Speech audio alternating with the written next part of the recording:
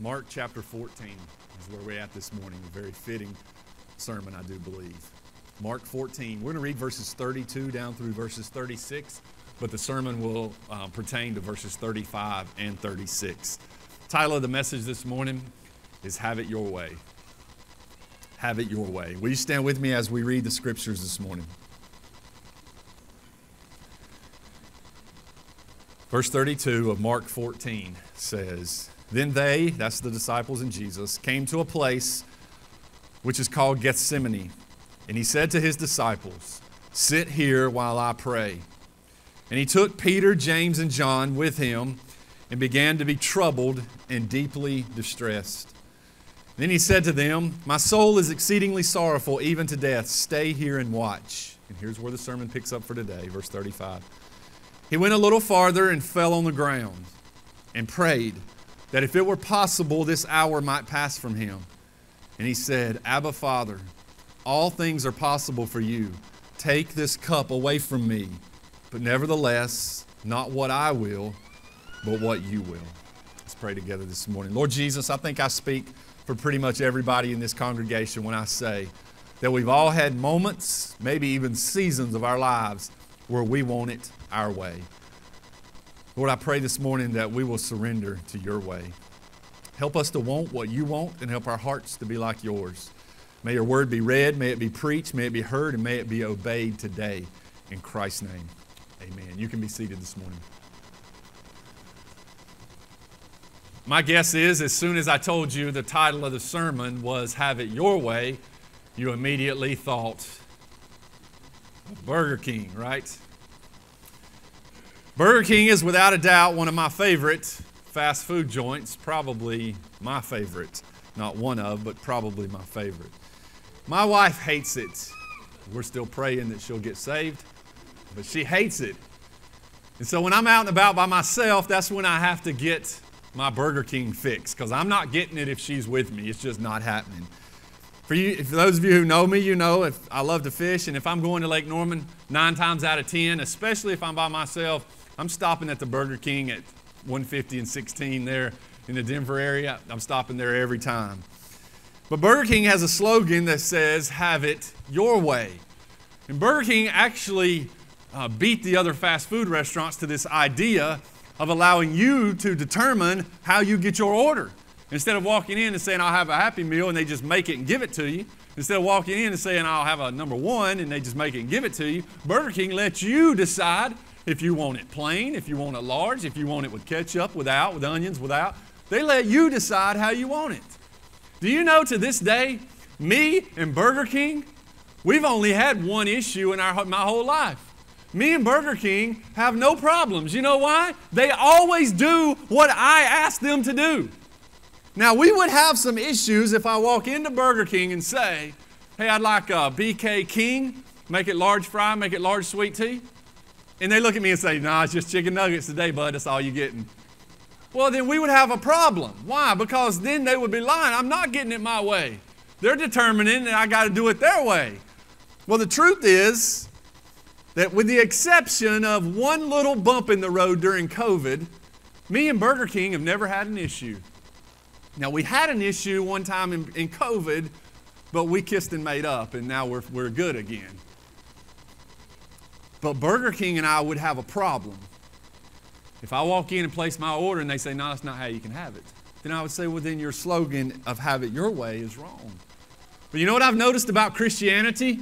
Is a whole lot of people want to go to God and say, God, I want it my way. Instead of saying, God, have it your way. And this morning we come to a text of Jesus surrendering to this concept of saying, God the Father, have it your way. Because all of us, to be honest, we want it our way. We arrive at the place in the scripture where Jesus is in the Garden of Gethsemane.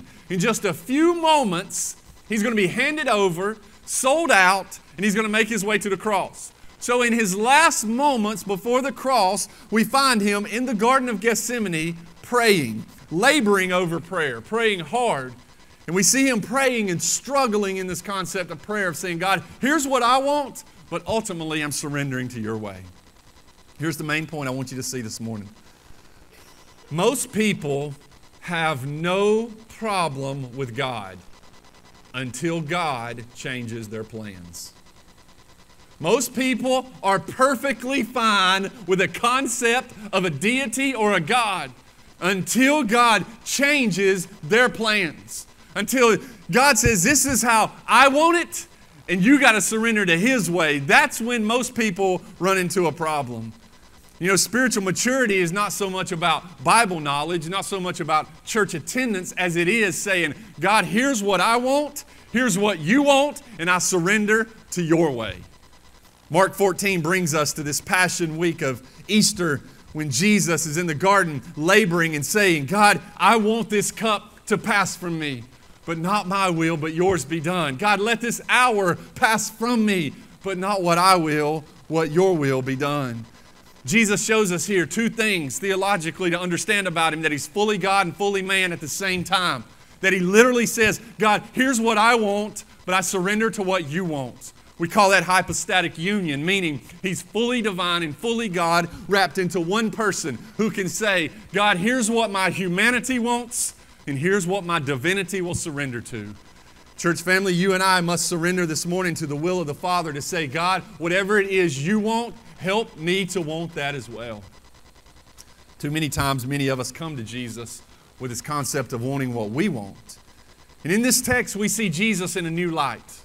Up to now, for the last 14 chapters of Mark, this entire calendar year, what have we seen? Jesus in power, Jesus walking amongst the people, Jesus doing miracles, Jesus being baptized, Jesus calling the disciples, Jesus instituting the, all these things.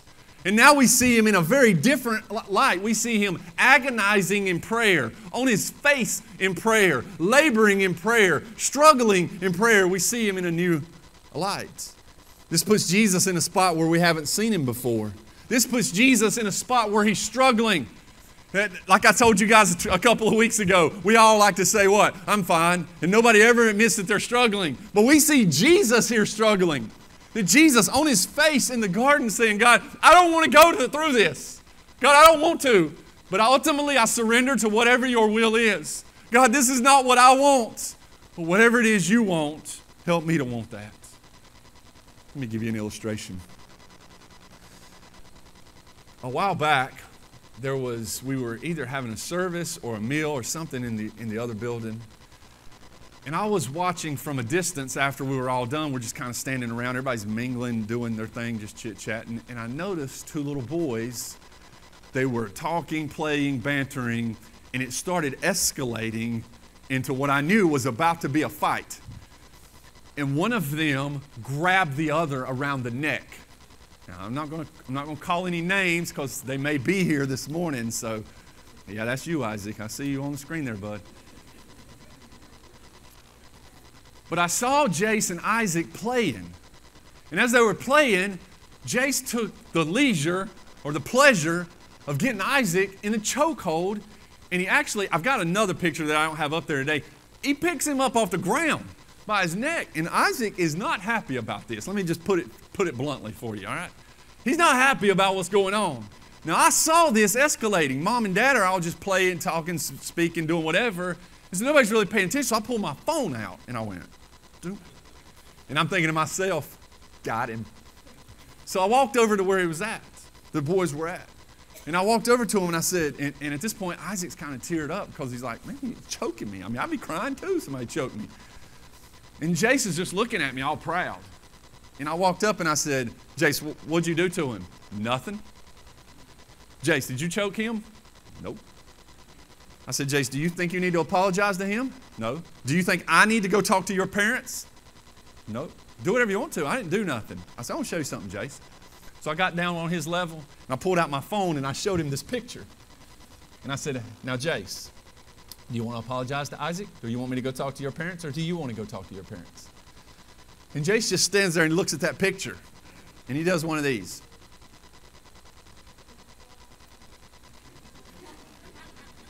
His mom and dad's over here. And he's just standing there frozen. And I can see, like, in his soul, in his eyes, he's like, I'm stuck. He got me. Like, I can't lie. He's got the proof. I don't want him to tell my mama. He's got the proof. I got to apologize. I don't want to. I'm stuck and I don't know what to do. I am stuck. I said, Jace, apologize to him. So he apologized to him. I don't think Jay, I don't think Emily and Jason have seen this picture, so spare them the agony. Jace finally apologizes to him. But I saw for a brief moment there was sheer agony on his face of realizing I'm stuck between what I know I need to do and what I want to do. I'm stuck because you got the proof of what I did and I don't want to admit it. And what I need to do, I don't want to do it. I'm stuck. This is exactly how Jesus felt in the garden when he got to Gethsemane to say, Father, here's what I want. Not to go to the cross because it's agonizing, but here's what I want even more is to do whatever you want me to do. So when Jesus got to Gethsemane, he literally goes, God, here's what I want, but I surrender to whatever you want. Just like Jace couldn't say, I'm surrendering, he was stuck. Jesus was stuck here, but Jesus doesn't give in to his flesh. He surrenders to the will of the Father. I want to show you three things from the text this morning very quickly. Number one, I want you to see the pain of Jesus. Number two, I want you to see the prayer of Jesus. And number three, I want you to see the purpose of Jesus, all from verses 35 and 36. In verse 35, the scripture says, Then Jesus went a little farther and he fell on the ground. This is a picture of the pain of Jesus. Now, our state has felt pain this past week like we haven't felt since Hugo, probably. We felt pain in a new way. We felt pain for people we don't even know. They have felt pain in a new way. Everybody has felt it this week. Everybody has been connected or at least a couple of steps removed from somebody who's been affected by this week, and we've all felt this pain. But Jesus here shows a pain that we haven't seen him have. It's the agony of human will and divine will clashing with one another. And Jesus has to surrender to the Father. My question to you this morning, church, is Are you willing to say, God, have it your way? Are you willing to say, God, have it your way? Or is the pain of Jesus that we see here the pain inside of us of saying, God, that's not what I want. I want my way at all costs. If that's the case, don't be surprised when you don't get it. I want to share with you this story. This is this happened to me. Uh, this has been years ago. But I was helping a family with a funeral. It was a very, very unexpected funeral. It wasn't an elderly or, or someone who had been sick for a long time. It was completely out of, out of the blue, unexpected. And it, this is a lo- very long time ago. But I never forgot this one scene. I walked into their house and it was just cold, no emotion. I sat down to talk with them about what happened, cold, emotionless. I did t- talk to the funeral home and I got them connected. Went with them to the funeral home, went with them through the process, did everything with them, and it's just emotionless. They didn't have a grave plot, so I went with them to help them find a grave plot. They needed to purchase one, they didn't have one. So I went with them. And as we found them a grave plot, we're leaving to making our way back to the cars. We're probably 100 yards from where we parked. And as we're walking down the road, there's just like a little old asphalt covered road. We're just walking down it, making our way back, when out of nowhere, the, the agony and the heaviness of what happened finally come to a head. And the daughter just began to cry uncontrollably. And I've never, I've seen this one time in my life. She bent over and she cried so much. There was a literal puddle on the ground of tears, a physical puddle that you could step in of tears. I mean, it was, it was, it was, it was crying like I'd never seen before. Why? Because the heaviness of the moment could not be avoided. The heaviness of what happened could not be avoided. The pain of losing loved ones, the pain couldn't be avoided. And they had tried so hard to pretend it was okay. But it hurts to lose loved ones. And in this case, they, that, that moment just come to a head and they couldn't hold it anymore.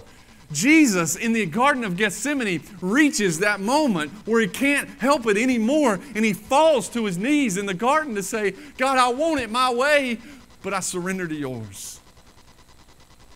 William Barclay said this text is one of the scariest texts in the New Testament because it shows us the agony inside the heart of God. The heart of God is not making a list and checking it twice and trying to find out who's naughty or nice. That's not the heart of God. The heart of God is not for perfect attendance church pins. That's not the heart of God. There's nothing wrong with that. But you know what the heart of God is? The heart of God is that your heart would become like His heart. That's the heart of God. The heart of God is that your heart would be humbled and broken over your sin and become like His heart. That we would have a heart that cares for our neighbors, a heart that cares for others, a heart that says, God, when church doesn't look like I want it to look, I surrender to your way. When church doesn't go the way I want it to go, God, I surrender to your way. God, when my life doesn't go the way I want it to go, God, I surrender to your way. Because I'm going to tell you something. Every one of y'all going to face this at some point in your life if you haven't already. You're going to come to a crossroads where you're, you're going to want to go east and God's going to make you go west. And it's going to be hard because you're going to be fighting for your way, but you know you got to go God's way. The heart of God is that our hearts would become like His heart. You know what I hear often? But God is unsympathetic to my pain. God doesn't care about my hurt. If He cared about my hurt, He'd take it away. If God loved me so much that He doesn't want me to hurt, then why does He take my hurt away? And many people think God is just this God who's far away. Yeah, He's loving, but He's also wrathful, but He's unsympathetic to me. And that's not, that's not true. It's not true at all. Hebrews 4, verse 15 says this. Hebrews chapter 4, verse 15. Put that on the screen for you. It says, For we do not have a high priest who is unable to sympathize with our weaknesses, but we have one who has been tempted in every way as we are, yet is without sin. He literally understands our weaknesses. That God literally understands when you have your garden moment of saying, God, I know you don't want me to do this, but this is what I want, God. But God, help me to surrender to you. There's a reason that the Bible tells us there's a reason that the Bible tells us of Jesus' labor in the garden. Because you and I will have that same labor that leads us to point number two. Point number two shows us the prayer of Jesus. Look at what he says. First, we see him fall on the ground in his pain. Second, his prayer is if it were possible, this hour might pass from me. If it were possible, this hour might pass from me.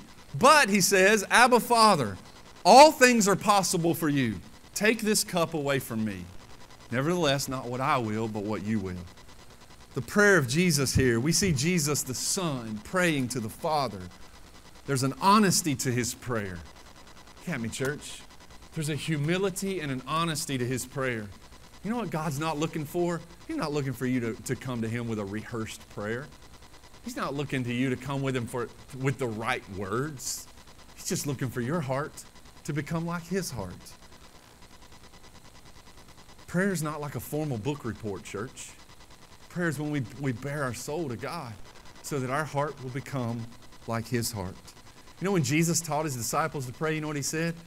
He taught them to say, Thy will be done on earth as it is in heaven. You know what that means? God, help us here to live like we're going to live there.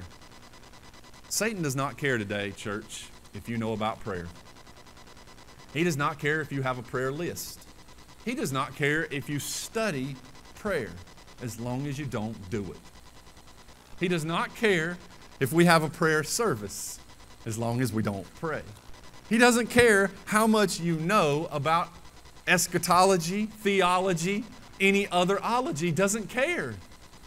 Because when you pray, that's when your power is found.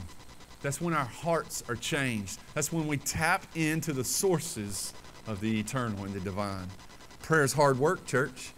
Well, you see Jesus here laboring in pain, laboring over it. Matter of fact, in Luke chapter 22, verse 44, you know what the Bible says? Says Jesus prayed so much his sweat became like drops of blood.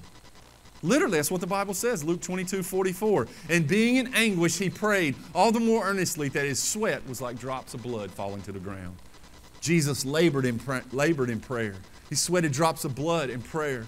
He stayed awake long hours in prayer. He struggled in prayer. But through it, he come to know the will of the Father. Listen, your prayer life cannot be this God, here's what I want. Give it to me now. It must be, God, here's what I want, but help me to surrender to your will. God, I would like this, but if you got something different, help me to be okay with it. God, I really want a spouse, but if you're okay with me being single, if that's what you want. God, I really want a kid, but if you don't want us to have kids, then I'm okay with it. God, I really want another job, but if you want me here, I'm okay with it. Help us to surrender to His will. Jesus labored in prayer in this same manner. Prayer is not always about getting what we want, it's about conforming to the will of the Father. Which leads us to point number three. Number one, you see the pain of Jesus in verse 35. He fell to the ground. You see the prayer of Jesus. But then, third, we see the purpose of Jesus. What he says in verse 36 Nevertheless, not what I will, but what you will. The purpose of Jesus was to come and die on your behalf. The purpose of Jesus was to be the final sacrifice on your behalf. The purpose of Jesus was to come to the cross and take your sin. The purpose of Jesus was to bring you into new covenant with God. The purpose of Jesus was to do the will of the Father at all costs. Contrary to popular contemporary American Christianity, God's desire is not just that we have a rousing church service with comfortable amenities while enjoying all the goodies of a first world society. Now, there's nothing innately sinful about any of those things, but the problem comes in that we start thinking without those things, somehow we're, not, we're no longer blessed. Listen, we just sang because He lives without a stroke of a piano or a guitar or nothing.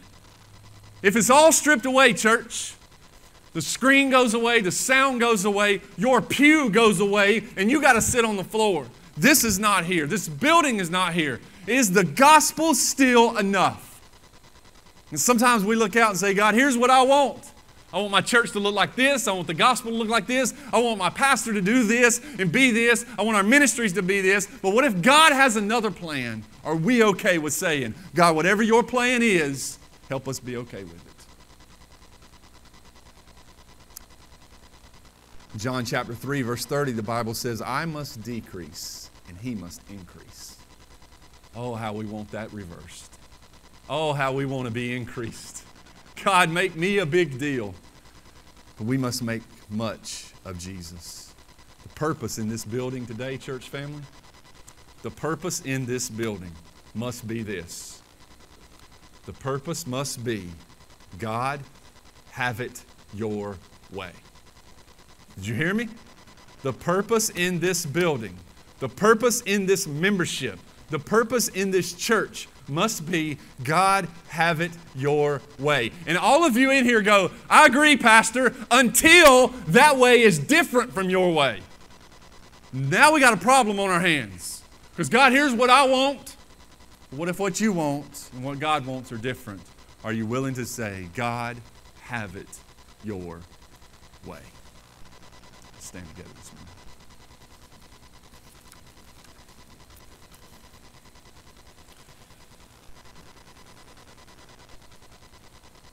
Are you willing to say today, God, have it your way? If not, you need to go to the garden and labor in prayer. Let's pray together. Lord Jesus, thank you for Mount Vernon. Thank you for our community. God, this morning, help us to surrender to your way, even when your way makes no sense to us. God, help us to trust you. Help us to see your pain in the garden, your prayer in the garden, and your purpose for our lives in the garden, that you would offer us salvation through the cross. I pray all this today in Christ's name.